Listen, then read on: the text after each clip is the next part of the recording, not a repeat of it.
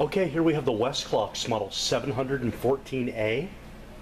This is LED thin plasma design, almost a one inch red LED display, black colored case. It does have a repeat nine minute snooze alarm. Nice large snooze bar on the top, if you can see that. The controls are very simple to operate in the back. There's only four buttons. It's all electric, as you can see, and it's really designed to look like a little plasma television, which I thought was kind of neat. Quality by Westclox.